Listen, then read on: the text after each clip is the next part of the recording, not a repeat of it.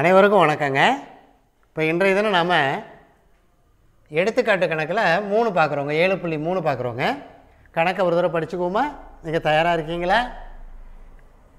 நீளம் மூணு மீட்டர் மற்றும் விட்டம் ரெண்டு புள்ளி எட்டு மீட்டர் உடைய ஒரு சமன்படுத்தும் உருளையை கொண்டு ஒரு தோட்டம் சமன்படுத்தப்படுகிறது. எட்டு சுற்றுகளில் எவ்வளவு பரப்பை உருளை சமன் செய்யும்? இப்போ இங்கே பார்த்தீங்கன்னா நீளம் நீளம்ங்கிறதாங்க உயரம் இங்கே.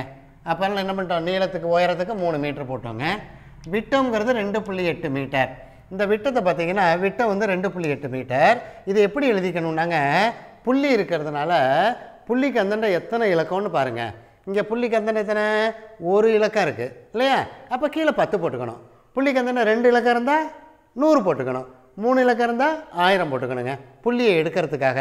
அதுமாதிரி விட்டத்தை ஆரம்பம் மாற்றணும்னா ரெண்டால் வகுக்கணும். அப்போ இங்கே என்ன பண்ணியிருக்கிறோம் பத்து ஏன் போட்டோம்?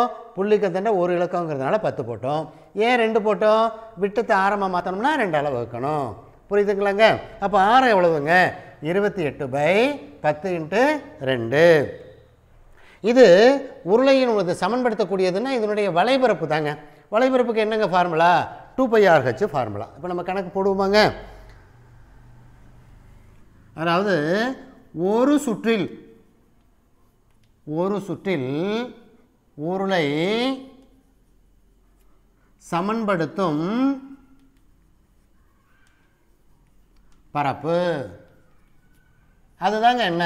அப்படின்னா அதுதாங்க உருளையினுடைய வலைபரப்பு அதுதான் உருளையின் வலைபரப்பு இங்கே எத்தனை சுற்றுகளில் சொல்லியிருக்கு? எட்டு சுற்றுகளில். அப்போ நம்ம என்னங்க போடணும்? எட்டு சுற்று சுற்றுகளில். எட்டு சுற்றுகளில் சமன்படுத்தும் பரப்பு.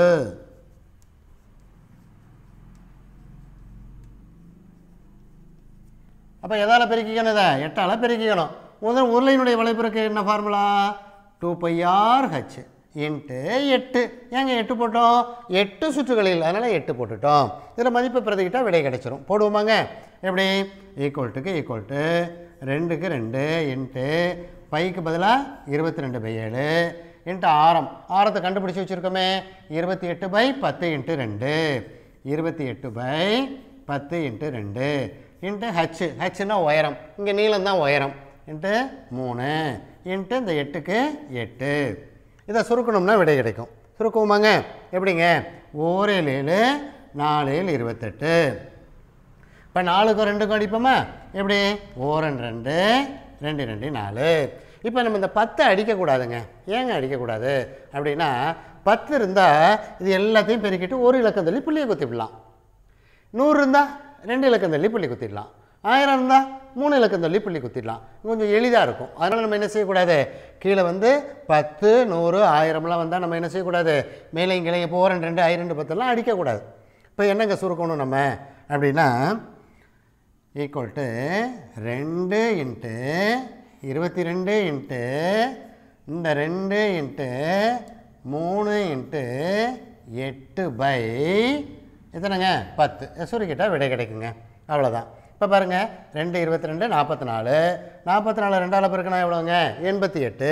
இப்போ எண்பத்தி எட்டை மூணால் பெருக்குவோங்க. எண்பத்தி எட்டை மறுபடியும் பாருங்கள் ரெண்டு இருபத்தி ரெண்டு நாற்பத்தி நாலு நாற்பத்தி நாலு ரெண்டால் பெருக்கலாம் எண்பத்தெட்டு. எண்பத்தெட்டை மூணால் பெருக்குவோங்க. மூவட்டு இருபத்தி நாலுக்கு நாலு மிச்சம் ரெண்டு. மூவட்டு இருபத்தி நாலு ரெண்டும் இருபத்தி ஆறு. இரநூத்தி அறுபத்தி நாலு திரும்ப எதாலங்க பெருக்கணும்? எட்டால் திரும்ப நம்ம பெருக்கிறோம். இன்ட்டு எட்டு. எட்டுனா முப்பத்தி ரெண்டுக்கு ரெண்டு பாக்கி மூணு. எப்போ? எட்டா நாற்பத்தெட்டு மூணு ஐம்பத்தொன்றுக்கு ஒன்று பாக்கி அஞ்சு. எட்டு ரெண்டு பதினாறு அஞ்சும் இருபத்தி ஒன்று. அப்போ என்னங்க வருது? ஈக்குவல் டு ரெண்டு ஒன்று ஒன்று ரெண்டு பை பத்து. அப்போ என்னங்க? ஒரு இலக்கத்துலேயே புள்ளி குத்திக்கணுமா? கீழே பத்து இருந்தா? அப்போ என்ன எவ்வளோ வரும்?